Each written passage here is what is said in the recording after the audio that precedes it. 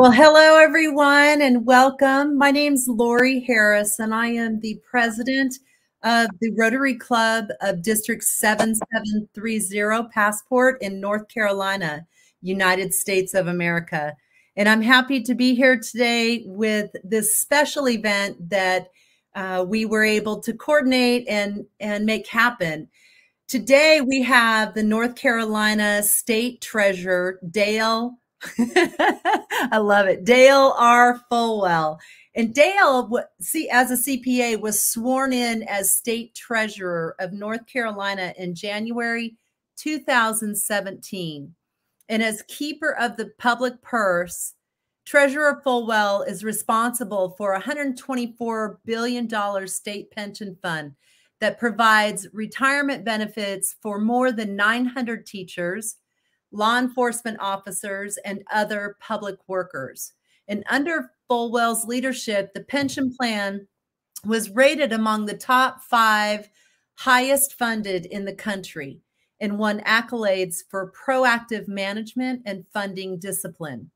In 2021, the state's coveted AAA bond rating was reaffirmed by every major rating agency, making North Carolina one of only 13 states in the country to hold that distinction. Treasurer Folwell also oversees the state health plan, which provides medical and pharmaceutical benefits to more than 750,000 current and retired public employees and is the largest purchaser of healthcare in North Carolina. Folwell was first elected to public office as a member of the Winston-Salem Forsyth, County Board of Education. And he brought his problem solving skills to North Carolina General Assembly in 2004, where he served four terms in the House of Representatives, including one term as Speaker pro tempore.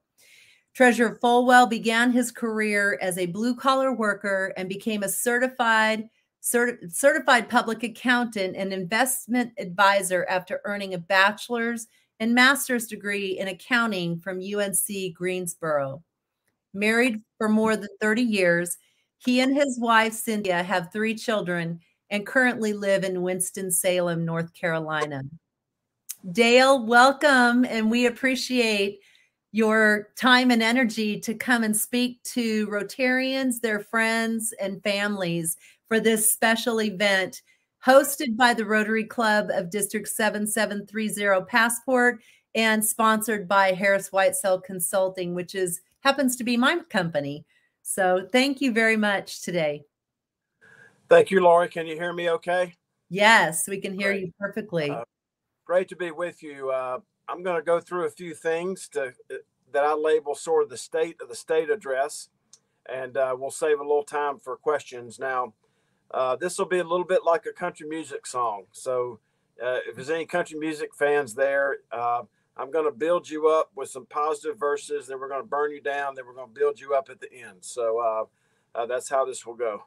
I'm not Excellent. sure. What, I'm not sure when I spoke to your group last. I think it's been over a year uh, since I was last with you. So I'm really grateful to be back with you again. And I'll be in Wilmington in about three weeks for the North Carolina North Carolina League of Municipalities is having their convention there, and the uh, Sheriff's Association in um, in Myrtle Beach a couple of days before.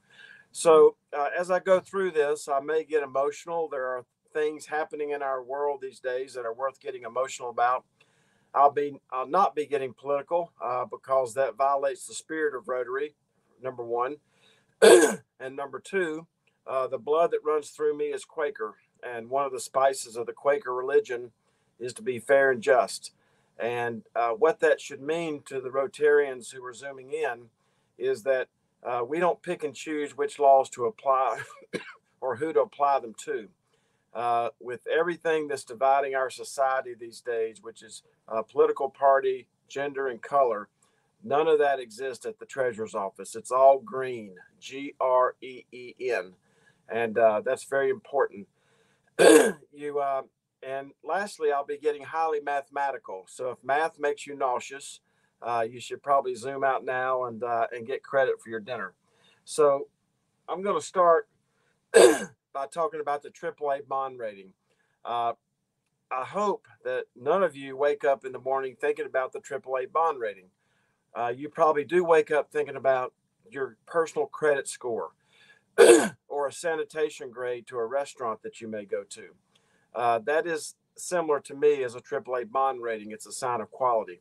I also know a little bit about the uniqueness of your club to know that you have a high degree of focus and interest and advocacy for public education, public safety, public works, and public roads. and that AAA bond rating means that if you have to borrow money for those four important essential functions of government, uh, you can do it at the lowest possible interest rates. And not only does the state have the triple AAA bond rating, but also also a New Hanover County and I think Wilmington, North Carolina. So it's a sign of quality. Now, I've just getting ready to report some news to you. It doesn't matter how old you are, uh, that you've probably never heard in your lifetime. Uh, one of the 21, one of the 21 duties and responsibilities that I have as the keeper of your public purse is that I chair the Debt Affordability Commission. Uh, I wish the federal government had a debt affordability commission, but they don't, but the state of North Carolina does. I'm reporting to your club this morning that over the last five and over the next three years, the general obligation debt of North Carolina is going to fall nearly 70%. a nearly 70% reduction in the general obligation debt of the state of North Carolina. now, I'm obviously reporting this to you, but it, I need to make it very clear. Uh, how did that happen? Uh, one is taxpayers. So let's thank all the employers and taxpayers that are listening in today. Uh, secondly, a strategy that I wish somebody would have shared with me in 1965, and that is if you do what you're supposed to do during the semester, the final exam doesn't count so much. I did not learn that at a young age, uh, but over the last 10 years, quote, during the semester, the General Assembly has been balancing budgets, building surpluses, paying off uh, near and changing laws to pay off nearly $2.7 billion of unemployment debt and establishing rainy day funds. That's how we're able to still report a AAA bond rating during after one of the most volatile economic periods in the modern era when our citizens from Murphy to Manteo were facing the highest levels of job, food, health, and educational insecurity and uncertainty. So the state debt is scheduled to fall over an eight year period by nearly 70%. That's great news. Uh, the big part of the AAA bond rating is built on the state pension plan. Now, you reported a few minutes ago uh, there's nearly 900,000 people on the pension plan. Nearly one out of every 10 adult North Carolinians is on this pension plan. And this could be employees at the local or the state level. So we manage all of that. This pool of money uh, topped $124 billion this year. Uh, to put that in context, that is five times the size of the state budget. So just the pension plan is nearly five times the size of the state budget. And uh, so, all of you in the audience who teach, who protect, who otherwise serve our citizens at the local or state level, you're participating in one of the most safe and secure pension plans in the United States, if not the world. Our pension plan is nearly 90% funded. The South Carolina plan, 65% funded. Alabama, 67% funded. Kentucky, one of their plans is 30% funded. Our plan is nearly 90% funded. So when I say these qualitative things to you about being one of the safest and most secure, I always back it up with numbers. Now, a couple of things about the pension plan that you may have read recently, or you can go to our website and read. I have asked the North Carolina General Assembly, which they unanimously passed, to send a resolution to the Congress of the United States asking the Congress to adjust a law that's been on the books for 50 years that would give me a small exit ramp toward a very long runway to sue President Putin for his murderous activities and the economic harm to the pensioners and taxpayers of North Carolina inside the pension plan. Long before I was the keeper of the public purse, there was a, qualified investment made in a BlackRock International Index Fund. Uh, it doesn't matter what political party you're a member of, no state treasurer picks what's in an index fund. The sponsors pick that.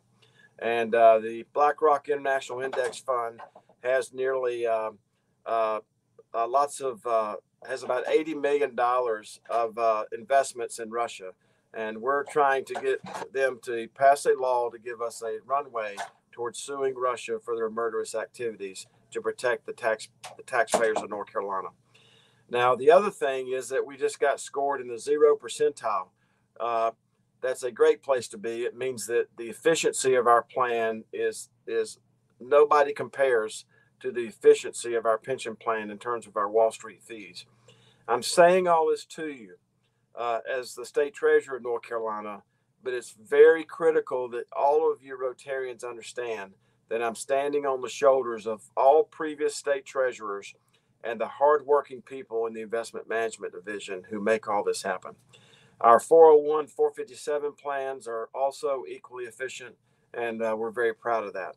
So I've sort of built you up, and as I said earlier, I may burn you down currently uh, for just a moment. Uh, we are seeing and have seen and are getting ready to see even more the cartelization of healthcare in North Carolina. Now, that is a very strong word, but uh, as you can possibly tell, I uh, in the past have had more of a speech impediment than I do currently. I was advised when I started taking classes at Winston-Salem State and UNC Greensboro that when I struggled to find just the right word, look in the Webster's Dictionary or the Bible. Cartel is defined in the Webster's Dictionary as an association which is formed to restrict competition and or raise prices. What we're seeing is the cartelization of healthcare, the concentration of healthcare into the hands of fewer and fewer of these multi-billion dollar corporations who disguise themselves as nonprofits, who don't pay sales tax, income tax, or property taxes, which, oh, by the way, are the three taxes that your Rotary Club cares about because they fund public education, public safety, public works, and public roads. And uh, these uh, nonprofits, these corporations disguise themselves as nonprofits. Atrium Health in Charlotte has over $9 billion in the bank. $9 billion as a nonprofit. And healthcare now owns North Carolina, and Big Wall Street now owns healthcare. Now, this is where I could get a little emotional we're told that the reason that all this happens is because of the charity care that these nonprofits offer. Uh, Johns Hopkins University came into North Carolina, into the treasurer's office, and got our public data. And they produced this report, which you can pull up on our website. And it shows that these nonprofits are receiving nearly $2 billion of tax benefit, but only offering a few hundred million dollars worth of charity care. The charity care is supposed to equal the tax benefit. When I attempted to find out what health care cost in North Carolina for our state employees, I hope this comes across as clearly as I want it to this afternoon. This is what was returned to me as the price list for health care for the state employees at UNC Healthcare.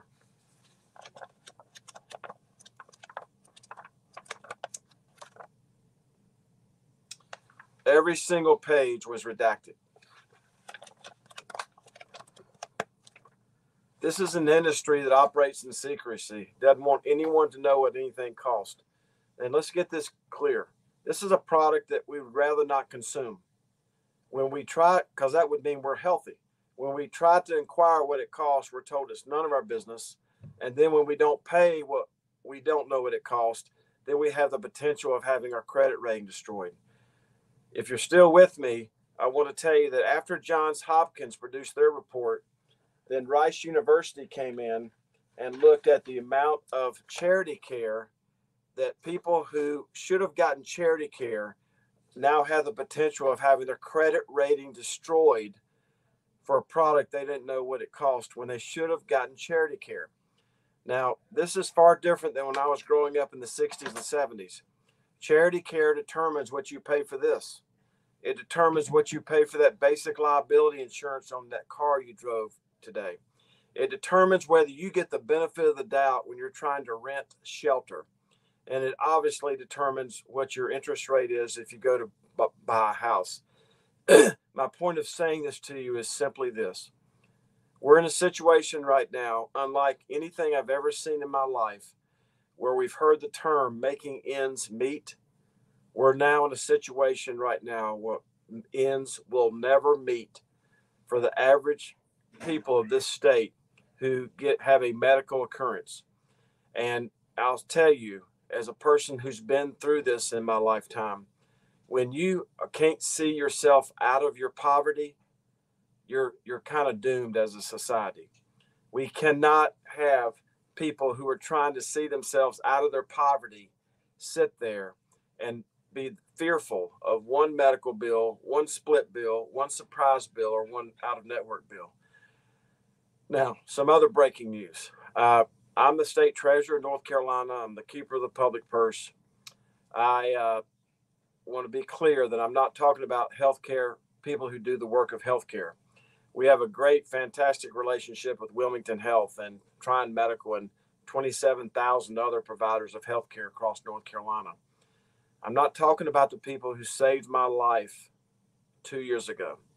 I was one of the early contractors of COVID my wife Cynthia sometimes accuses me of talking as if I'm a doctor. My initials are DR Folwell, and I think that gets me pretty close. I do know enough about medicine to know that in March of 2020, before anyone knew anything about COVID, I had a blood ox level of 82 while I was consuming eight liters of oxygen in intensive care.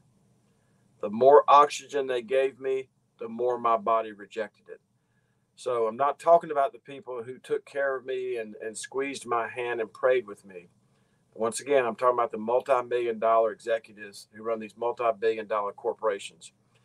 The other thing I want to tell you is that I'm currently in collections on a medical bill, and I'm there on purpose.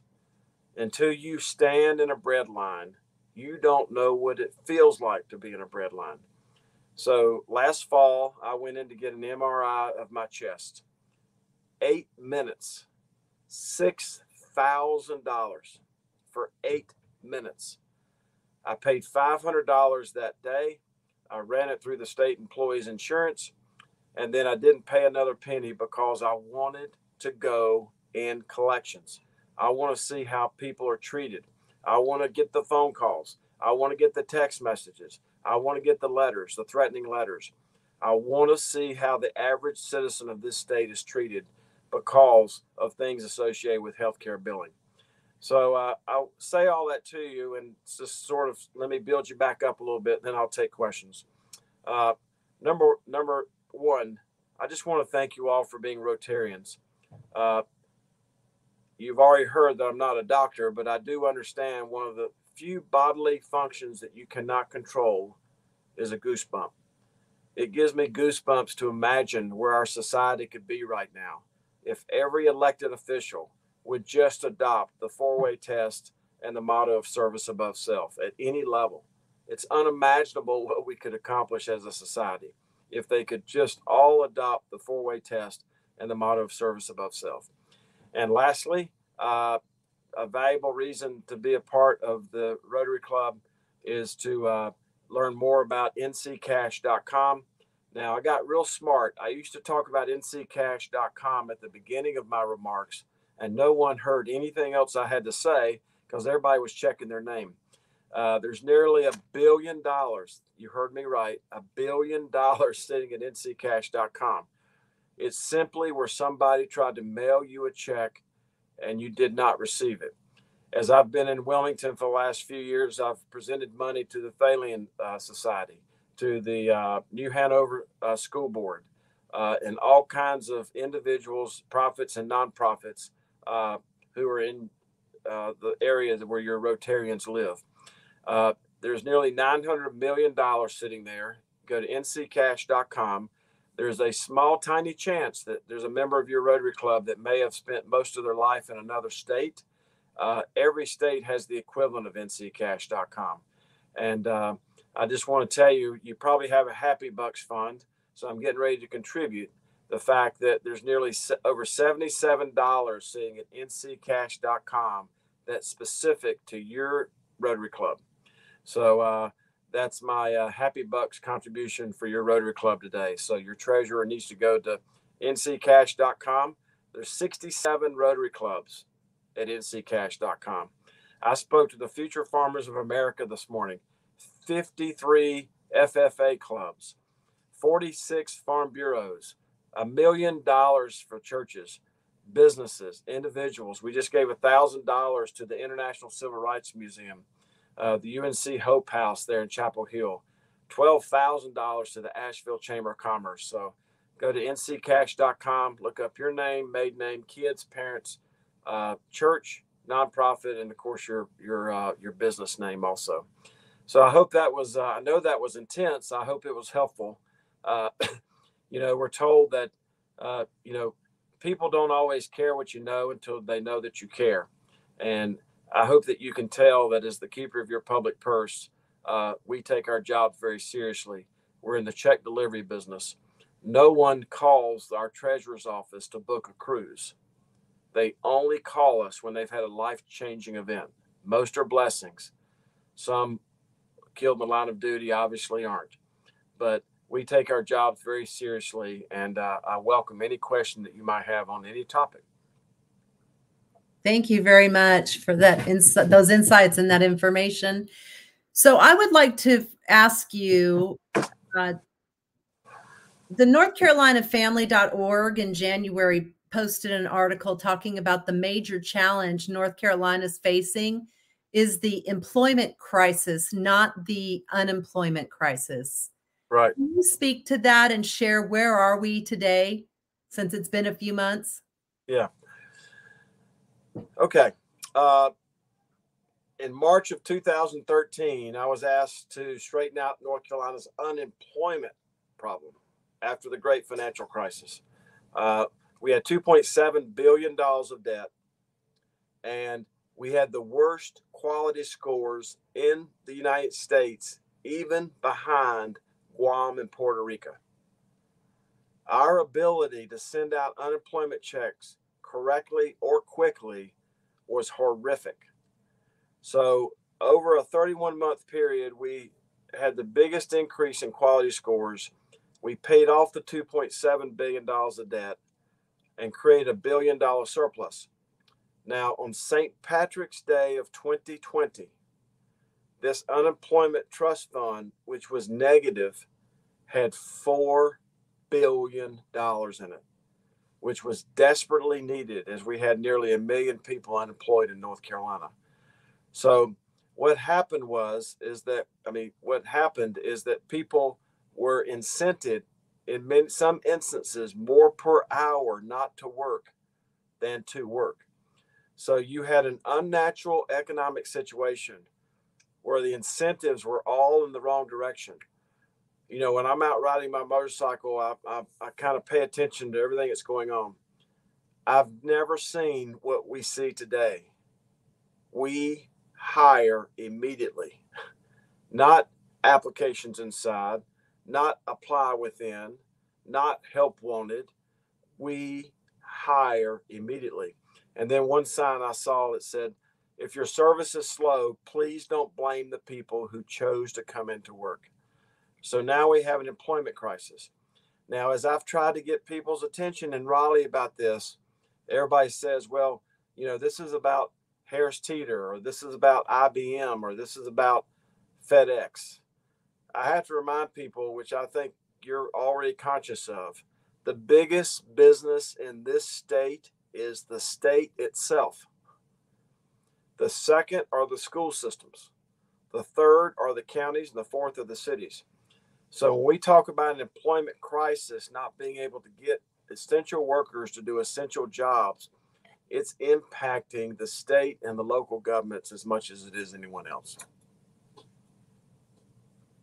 And and you know from from my industry, from the consulting perspective, when we're talking about talent management, we work with leaders everywhere to, to ensure that they're aligning this talent and that they're actually recruiting talent that are in alignment with their company philosophy and their company strategy and and including that job description as well so that there is retention and sustainability.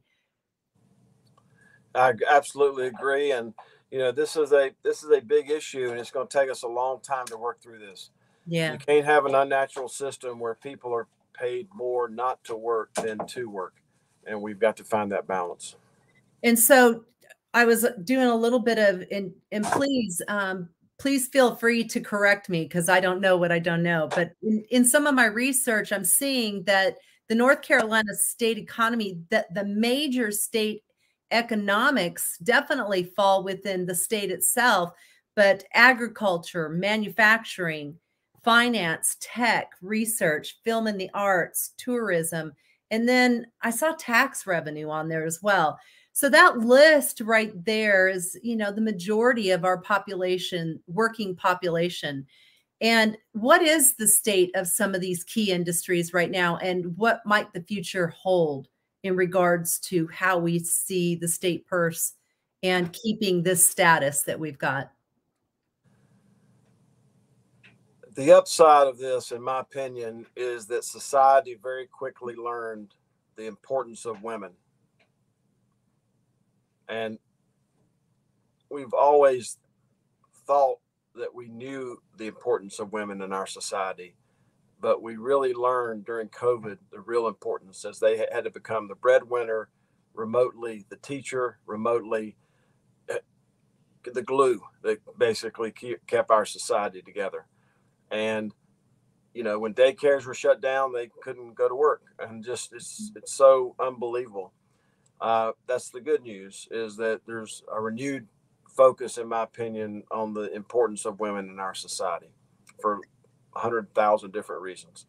Uh, the bad news is that i think it's going to take a while for this to this uh, employment crisis to burn off. It may take a slowdown in the economy uh, but right now, things are so hot that, like at the state level, when we put out a bid to get something done, where normally we would get three or four bidders, we now get one. And what happens then? Price goes up. What happens then? We have more inflation. What happens then? Inflation is a thief. It is a thief, especially to the lower and fixed income people of our state. You know, when lower and fixed income people do not have assets to inflate, then when price of things go up, it desperately affects the lower and fixed income people of our state, and that's how this whole cycle comes together. Dale, I really appreciate you bringing up the topic of women in business and women in leadership. And I will share with you in every realm, every conference, every bit of consulting that we're doing, we are addressing for such a time as this women in leadership, women in business, women owned businesses. It's what, you know, I just got out of a conference with the SBA this past week, and women in business and leadership being able to uh, afford the investment for leadership development, not only for the emerging leader, but the high potential leader as well. And, and, childcare Right. And the great need, and because there's so much transition right now and transformation in childcare, and childcare really did take a hit with COVID. So, again, I just want to commend you for speaking out loud. And I know with Rotary, uh, women empowerment has become an area of focus, and there mm-hmm. are major initiatives around that for Rotary uh, everything from the negative side of that, which is you know the abuse and the neglect, other things that that detour and derail and inhibit, uh-huh. right? Naturally gifted individuals from being able to move into and apply their highest and best talents, let alone those that are highly educated with multiple degrees and possibly even certified as women owned business, hub certified, et cetera, who are not necessarily getting the contracts that are out there and available. And there are many right now. So it's wonderful. I can't I can't commend you enough. um, well, you. Uh, I'm I'm saying that uh, because we all understand uh, not only the importance of women in our workplace, but uh, the brain power they bring and uh, mm.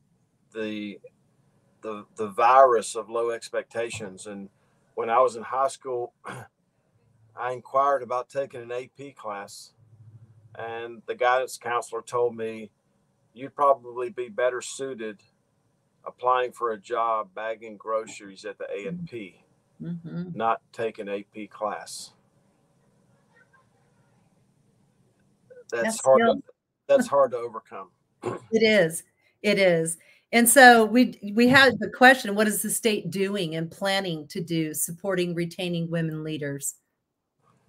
Well, I think the state is is is doing a lot. Uh, uh, that would be a, a, a, There's all kinds of forums and things going on, but but the fact is is that there's so much emphasis right now on preference, on politics, on pigment. Uh, if we can just focus on the the the P which is performance. Uh, I think that uh, all this has the real potential of working out, but it has to in the context of the of the importance of women in our society, and the fact that as Herculean as I think I may be from time to time, mm-hmm. there's simply some things, many things in my life that I could never ever do better than a woman does.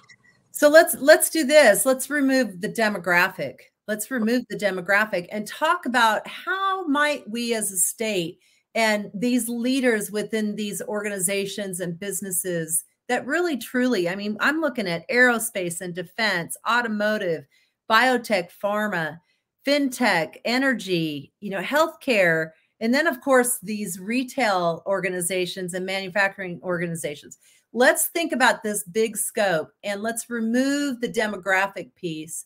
And how do we optimize this wealth of talent, this wealth of expertise throughout the state so that we can even maximize excellence even further? I'm going to ask the business question, right? Sure. Yeah. I, uh, I'm I'm probably not the most qualified person to answer that. Yeah. Uh, I will tell you that uh, in terms of the government answering that, people's confidence in their government has never been lower, uh, and there's there's a reason. Mm-hmm. The reason is is that people want to be spoken to like adults, mm-hmm. and what comes out of their mouth needs to make some level of common sense. Mm-hmm. That's all the that's all the citizens want to be mm-hmm. spoken to like an adult, and what they hear makes some level of common sense. And I think anything that we do uh, from that standpoint is very important. Uh, we manage uh, the pension plan, as you heard, is about 124 billion dollars. Uh-huh. Uh, the person that manages the biggest group of that is a female. The manager of our state health plan is a female. the chief financial officer of the whole treasurer's office is a female. Mm-hmm. Uh, up until last week, uh, she went on to incredible opportunity. The person that ran our NC Cash unclaimed property division uh, was a female, but I don't look at them as females. I look at them as performers. That's right. And, and that's how I that's how I deal with things. But um, it's it's obviously a big issue. But I, I think that what COVID has done is it's brought out the importance of women in our society in our economy. I love it. Thank you again. Yeah. So, another question just came through, and it's relative to your introduction that I made. And they're asking, what are some of the top problem solving skills that you bring to the table to ensure safety and protection of the state purse? Uh, I have made all the right enemies. and so I said that to somebody over Christmas, and they said, "Well, how do you know that?" And I said, "Well, when I first was sworn in as the keeper of the public purse, I got 62 Christmas cards that year. This year I got five, and two of those were to deceased treasurers. uh, I'm unfortunately in many instances, and I don't mean to be inelegant because I can't, I can only see your face and I don't know who else is on the call, but I was told by the former treasurer that when you manage one of the largest pools of public money in the world, people will try to kiss your tail in things that ways that you didn't think were humanly possible. That was absolutely accurate. And so what I try to do is that to in many, many instances, I'm in the business of saying no, but I spell it K N O W. It's pronounced the same way that when I tell you no, I explain why. Why it violates this, it violates that, why we can't do this for one person when there's a million people on the plan. What if we did this for everybody? What would the impact? So, the last uh, couple things is that surround yourself with people that are smarter than you are. Be willing to push the power down to them. I'm not perfect at this, mm-hmm. uh, but most importantly, challenge assumptions and ask the question that no one wants to ask. And that's my reputation is because I'm a motorcycle mechanic and a garbage collector. I'm just used to getting my arms around things. Uh, mm-hmm. that's why I've put myself in collections. I didn't. I, I can't figure out what's happening to the credit ratings and the and the people of this state dealing with medical debt until I actually was had to walk in their shoes. And um, and then obviously the other one is conflict resolution. Um, I'm, I I try to be good at that, but I am not in this basketball thing. I'm a, I'm a motorcycle racer, but I do remember Coach K when they were he was interviewed a few years ago, and they were asking about his courtside manner. I don't need to get into what that means. You can figure it out. And he said, you know, there's some things that happen right in front of your eyes that are worth getting mad about. Yes. Now he was talking about your shoulders or your hips or your feet or your hands, but he was right. There are things that happen to me, the injustice of what I see, especially as it impacts the invisible people that no one knows who they are, the lower fixed income people of this state, that happen right in front of my eyes as the keeper of the public purse that are worth getting mad about. I don't want to take up too much time, but I just want to say, for example, um, chair the, I chair the state banking commission. That's one of the 21 duties I have. Now, let me give you an example of a couple of little banks that are supervised by the State Banking Commission, BB&T Truist and First Citizens, just to name a couple of them. It's a big job. And uh, we had our meeting last week, and I exalted the importance of bank tellers, the intuition of bank tellers, the not when something doesn't smell right aspect of being a bank teller. Uh, there were three examples I brought up. One is my my most of my best friends are all blue collar people from my days, and uh, my plumber. You know, plumbing is very important. Paying your supplier is very important. He pays his bills all the time. he put a check in his mailbox. Somebody took that check out of his mailbox and whitewashed it and put their name in there, and then they tried to cash it, and a bank teller called it. Uh, we had another situation with nccash.com where a property finder was trying to charge somebody 20% commission, like 8,000 bucks to this little lady, this little lady, uh, when we don't charge anything to give people's money back at nccash.com. And then the other one, we have something called the Hope program in North Carolina. I don't run it, but it's supposed to, it's supposed to partner during COVID, uh, landlords and, and renters who didn't have jobs. We had 17 year olds coming into check cashing companies and banks trying to cash $30,000 landlord checks. So these are landlords who are 17 years old who don't have a banking relationship. It was all a big scam, you know, and it was bank tellers that figured this out. My point is, is that when we talk about and try to put our, put our arms around what is an essential worker, they're all essential workers, in my opinion. So there's two questions. The first one is, uh, as a state treasurer, you are certainly a highly experienced leader. What is one of your greatest lessons learned in leadership?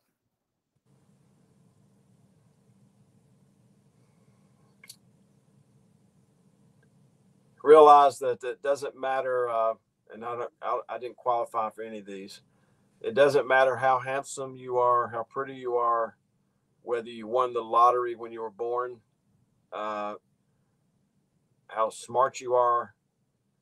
Uh, at the end of the day, when you get my age and you look back, you realize that you're standing on the shoulders of other people. And uh, fortunately, without a father figure in my life, and standing on the shoulders of people who expected the best out of me and wanted the best for me. They were tough, but they expected the best out of me and wanted the best for me. And I think that, uh, and they taught me to A, always, always, especially when you're poor, to volunteer and raise your hand for the toughest jobs. B, to surround yourself with integ- people with integrity. The world's going to help you with your ability and somewhat with your passion. The world can never help you with your integrity. And when you're poor, you're always going to be one step away, and you can fill in your own blank there from the society never giving you the benefit of the doubt again. And lastly, and most optimistically, the world is so thirsty for young people who understand the role that integrity, which means disclosing mistakes and doing what needs to be done when no one's watching, ability and passion. The world of, is full of people my age and below who are so thirsty to help younger people who really have an interest in getting upward mobility and joy of achievement in their life. Excellent answer. Thank you. And then there's the question so the effects on the economy and what impacts would it make on our state purse globalization higher education and then the migration right migration of people and companies in the state of in and out of the state of north carolina so they listed those three globalization higher education and migration all the above uh, sorry i just feel like i'm taking all your time but uh, two of the other of the 21 responsibilities I have is I'm one of only two elected voting members of the State Board of Education currently, and one of only three elected voting members of the State Community College Board. I mean, we are seeing, and this deal with the public education is not a revolution. You can't blame everything on COVID. This has been evolving. I mean, we're seeing readiness scores, test scores, math and reading scores uh, especially for brown and black and and some degree white in certain parts of the state, you know, below 40% proficiency. Mm-hmm. I mean, there's no way in hell that people are going to get the joy of achievement and upward mobility in their life as long as we keep settling for this. And uh, so I'm not sure I exactly answered your question, but that's the thing that's keeping me up at night right now. Education. Yeah. And as far as migration, do you think that's positive or negative effect? Do you, what are you seeing there? The migration is the result of what Hayek and von Mises taught us. Uh, when I was a garbage collector, I found a copy of the book Human Action uh, in the garbage. Uh, I could hardly understand any of the words, but I finally did. Uh, Hayek and von Mises uh, tell us a couple of things. One is the money does not know where the border is, nor does it care. Money is going to go where it's invited and stay where it's welcomed. And what we're seeing with the migration is we're seeing a business climate that has the highest levels of certainty. You know, we're paying off state debt, one of the best funded pension plans in the United States, one of the most bankrupt state health plans, but we're working on that. So businesses are seeing and individuals are seeing the tax and regulatory and business certainty associated with uh, the policies that have been put in place in, in North Carolina. The other thing, and I'll say this, and I, I don't mean for it to sound political, and that is that uh, if there's 50 people in your Rotary Club, there's 50 opinions about what level of government we should have. Mm-hmm. But everyone in your Rotary Club agrees that when we settle on what level we should have, we want to work for its essential purposes. A town just a few uh, miles to the west of you is Spring Lake. The state auditor just got done with her audit of Spring Lake. Nearly half a million dollars missing at that small town. 35 cars are missing at Spring Lake. Uh, the finance officer made checks out on the city bank account to a nursing home for her loved ones and was so arrogant she put the room number on the memo line. So we've my point of saying that is that we've got to have more competency in our local government, especially our small towns, and that's also vitally important for as far as being able to provide essential services. So, Dale, I just want to say something that I've observed in you today is this vulnerability and and transparency. These are these are key words in leadership. These are very very important attributes in individuals and competencies in individuals who take the lead, who choose leadership. Talk about those two. I uh, I didn't have a choice. Now mm-hmm. the thing I haven't been transparent about is I'm sitting in the in the storage room of a yoga studio. uh, I uh, I left Winston Salem at 4:45 this morning. I roll hard all day long. I take a very very intense one hour yoga class. It's only from 5:30 to 6:30. That's why I had to come on your show at 6:29. so uh, I haven't been very transparent about where I am because these people keep walking. These are people keep walking and you know getting their little cubbies and things. Uh, but uh, I didn't have a choice, as I said earlier. When you are uh, poor in resource and rich in opportunity, uh, the world is not going to give you a second chance. So transparency is uh, is very important to me, and I'm also honored to have just received the Sunshine Award from the Center for Open Government. Um, the first person at the Treasurer's Office in the history of North Carolina to ever receive that award. And I'll tell you why for any of the uh, anybody who's in the journalism business who may be on this call. And I hope this comes across as elegant as I want it to. I am too damn old to keep information from you that you're ultimately entitled to. Mm-hmm. I mean, why do I need to waste my precious life that's left keeping information from you that you are ultimately entitled to? So that's why we try to be a non FOIA agency. We try to be the most transparent agency. And we were just recognized for that as the recipient of the Sunshine Award. Because I can tell you, as you can already tell, it doesn't have, anything to do with my disposition.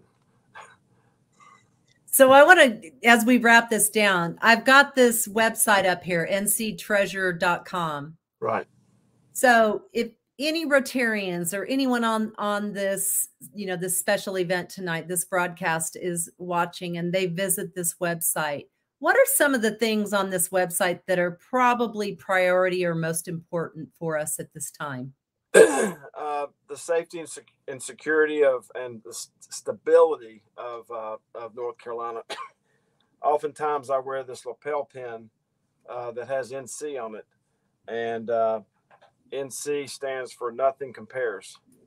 And uh, my point of telling you that is that uh, we're we're one of the most financially stable states in in North in the United States uh, they'll also see something about the ABLE program.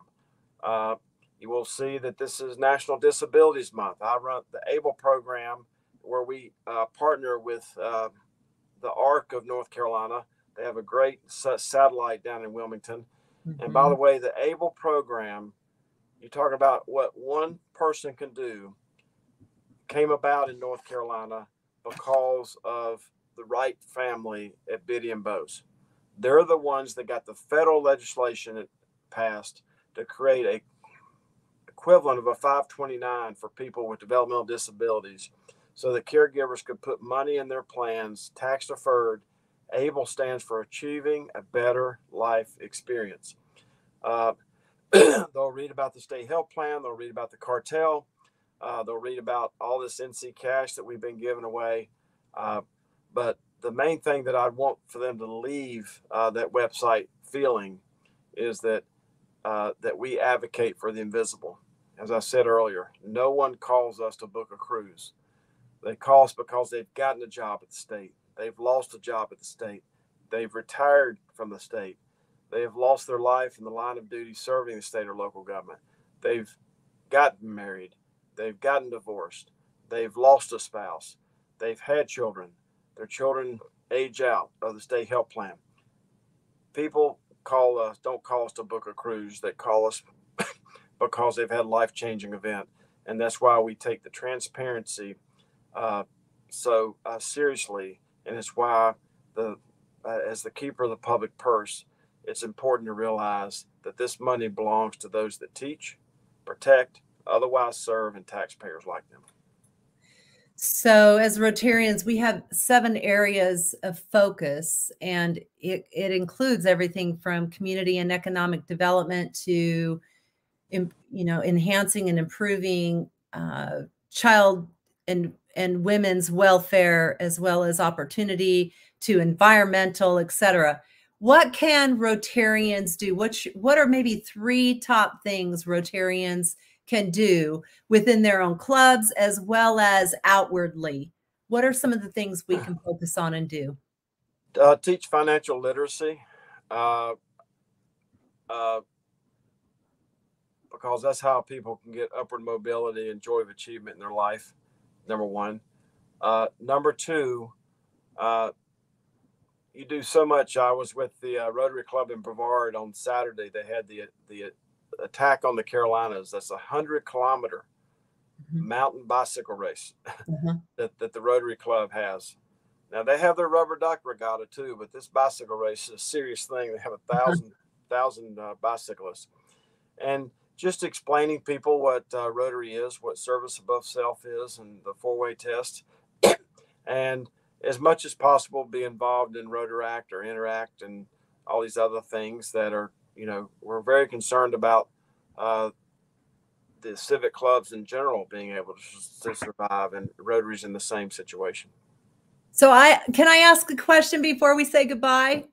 Yes. How important is the well-being of our children to our economy?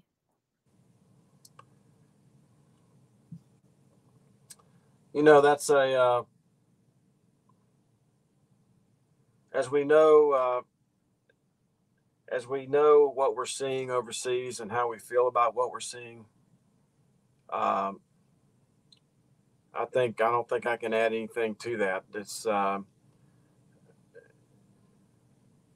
the joy of achievement is the most powerful drug that's ever been on the face of the earth, mm-hmm. chemically. Mm-hmm. Uh, the excitement of the of the possibility that God might have made you better at, mm-hmm. not better than, better mm-hmm. at something than anyone else in the world, is is such a is such a drug, and we just don't we just don't have that anymore as, as much as we'd like to in society, and the other thing is it's it's easy to get discouraged about this, mm-hmm. but you know focus on one person. I have a.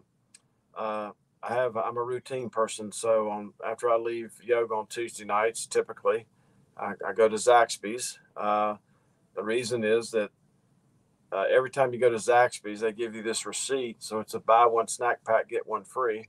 Uh, so I normally take somebody with me and let them buy theirs, and I get the free one. uh, but uh, sometimes uh, one of the workers at the Zaxby's his first uh, her first grader is there just sitting in the in the restaurant waiting for her to get off work. So uh, I, after i witnessed this a couple of times i went and asked her permission and i went and took the tip jar. There's a little old red pail sitting there. And i said you know every time that i see your son do you mind if i just sit down with him and teach him about money?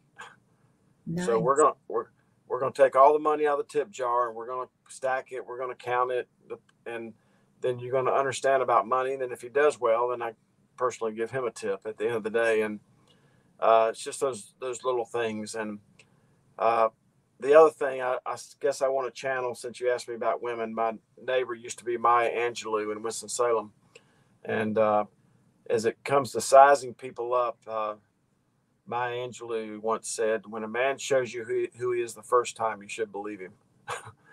so you know, especially in some of these situations that people are in, you know, typically people do not change. So, when, so and that, that's sad. I'm, but uh, when people show you who they are the first time, you should believe them. So, I appreciate you uh, having me on. I hope this was uh, helpful to you. I, I don't know how many people are watching this. Do you know? I don't have that. I'm not on that side of, of the studio at all, and I apologize for that. I do know we are broadcasting live both on LinkedIn and YouTube. So right. this will live on, and we are going to be sharing this out through Facebook on on uh, Rotary Club of District 7730 passports social media pages as well as internally throughout Rotary throughout the district. So it will get distributed as well to all the presidents and secretaries of all 51 clubs throughout our, our district. And hopefully the district will share this online as well. So it's gonna it's got a shelf life. It's got, you know, you kind of like one of those magazines that's getting to sit on the table a little bit. I well, do want well, listen, if I'd known all that, I may have gotten some little nicer surroundings. no, this is real. This is lovely. And and yeah. again, your transparency and your ability to share out information that is vital and important and to stand on that and to stand well on that and present that information in this type of platform for people to absorb it, to take it, and to do something with it. So, our tag for our Rotary Club is Go Be Do Rotary, standing on all of the principles and the philosophy of Rotary, and that the the best of that being the four way test. Yeah. Um, well, I, would, I, I will say that, you know, people ask me obviously a lot of questions, and uh-huh. and at the end of the day, uh, when you're my age, if you have somebody to love, something to do, and something to look forward to every day, that's enough. Isn't life beautiful? Yeah. On behalf of Harris Whitesell Consulting, my business partner Lynn Whitesell, and myself want to thank you. On behalf of the Rotary Club, I want to say Richard Creech is our incoming treasurer. So from treasurer to treasurer, he says he says this. Thank you so much for this informative presentation and thank you for your service to our state and to our community. We appreciate you. Thank you. I look forward to seeing some of you in person. I'll be down there on the whatever that Tuesday is. I think it's the 27th of April. It's a Tuesday. Uh, but uh, I'll be speaking at the sheriff's conference on that Saturday before, and then uh, I'll be in Wilmington on Tuesday, and then uh, hightailing it back up to to uh, to Raleigh. So thank you. Uh, God bless you, and be sure to go to nccash.com. Thank you very much. Again, thank you for that donation. We appreciate you. Well, wait a minute. It's not a donation. You got to go claim it. All right. We're going to go claim it. I'm going to get him to go claim it. He's on here. And okay. we'll talk with you soon. Take care of yourself. Bye. Bye now. We are the Rotary Club of District 7730 Passport. Join us, become a member, and make an impact. Rotary four way test of the things we think, say, or do. First, is it the truth? Second, is it fair to all concerned? Third, will it build goodwill and better friendships? And fourth, will it be beneficial to all concerned? We are Rotarians. We are people of action. Go, be, and do Rotary.